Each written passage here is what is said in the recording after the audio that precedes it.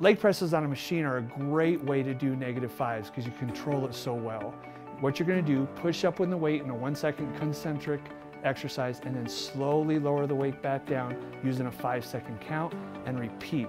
Change the angle of your feet, change the position of your feet, change how high your feet on the machine, lower your on the machine. Do it in different angles. Excellent way to burn your quads.